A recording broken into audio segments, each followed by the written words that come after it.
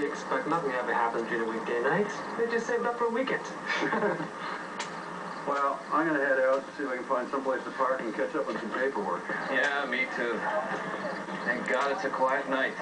Thank what we didn't know was there was an actual robbery in progress nearby. That night, a high school student named Todd Lynch had decided to do some robberies and roped in his 15-year-old cousin named Moses Phipps and a 20-year-old friend nicknamed Duke. The game plan was simple for them. They would hit as many convenience stores as possible before the sun came up. In their first 40 minutes, they had robbed three stores.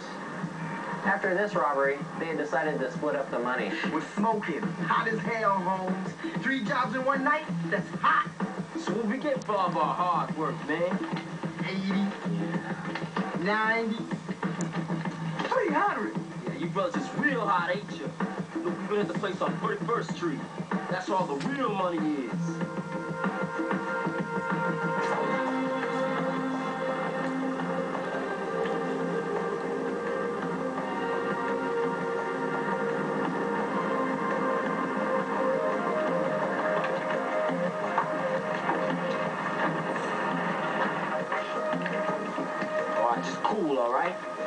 Some real money this time. I can see the clerk mopping up inside, so I thought everything was okay. Then I spotted the car parked on the wrong side of the street, and now I thought something was wrong. Then I saw the kid running. When he started to walk, I knew something was up, so I decided to check out the car. I figured maybe he or the other two had broken into it. So I was going to spin around, do a quick check, and try and keep them all in sight.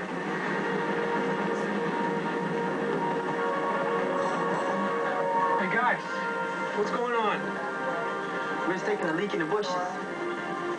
Whose car is this? I don't know. You got any ID, boys? I ain't got none on me. So where do you live? Just a couple blocks from here, man.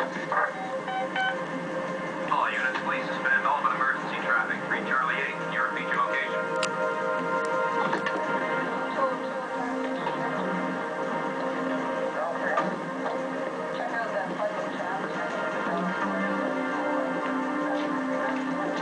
guys. We'll get a lot of guns out here. Just for your safety and mine, I'd like pat you guys down, make sure there's no weapons on you. Okay? Hey, you're the cop.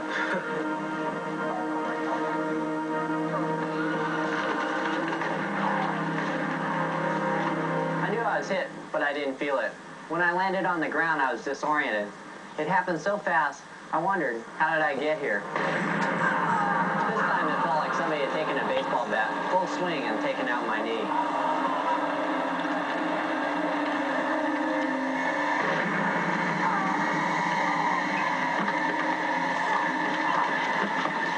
When I felt them reaching for my gun, that's when the adrenaline kicked in. All of a sudden, I could move my right hand again.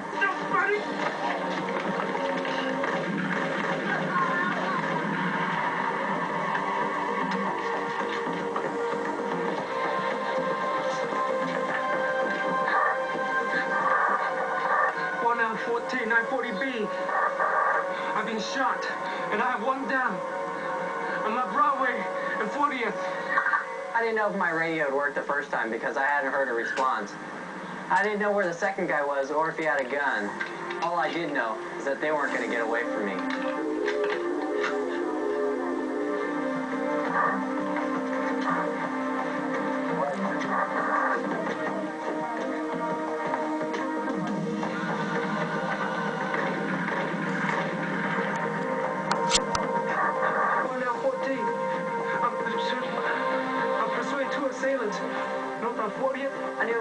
Was coming from the direction that Phipps was running. I had to warn them. Pat, Jack, keep your eyes up. One of them's heading your way.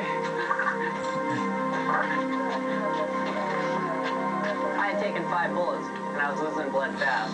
But one of the things instilled in me throughout my whole career, you never lose. Because if you lose, you die.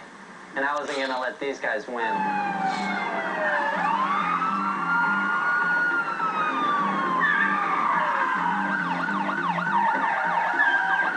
22s and 4050s and Broadway. Get a medical up here. A retired paramedic named Peter Armazu, who lived nearby, heard the shots and ran to help, bringing his first aid kit. I passed out a few times before the ambulance got there, but they kept bringing me around. They saved my life. They kept me going. Let's find this son of a bitch. All right. We got you, Craig.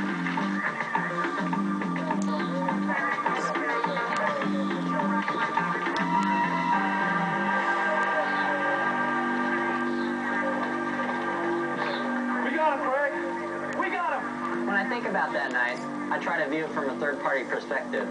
People say what I did was amazing, but I don't think of it that way. I think it was just survival, trying to stay alive, and a lot of luck. Somebody upstairs liked me enough to keep me around for a while, and I guess it helped that I was really angry. I knew I was not going to let somebody kill me. I've gone over this whole thing a hundred thousand times in my mind, and I know I made some mistakes. All in all, I think this experience has made me a better cop.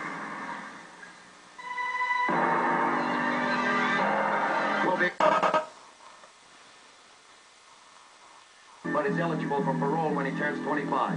Moses Phipps pled guilty to two counts of armed robbery and was sentenced to eight years.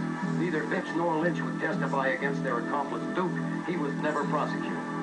Officer Craig Chew spent 11 months recovering from his wounds and is back on the beat as a canine handler. He received the Blue Star Medal from his department for his actions that night.